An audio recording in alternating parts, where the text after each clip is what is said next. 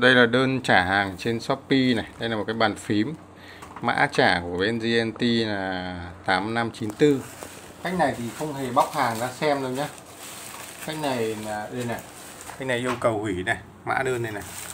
Mã của nó chính là cái mã đơn ờ, GVC21 các bạn ờ, đóng sang. Đấy, khách này yêu cầu hủy nhưng mà chắc là ấn hai lần không hủy được nữa bên mình gửi đi thì nó thành ra là nó không nó nhận xong rồi nó lại không, nó lại nó lại ấn trả hàng như nó khác mô tả nên nó có mở ra đâu.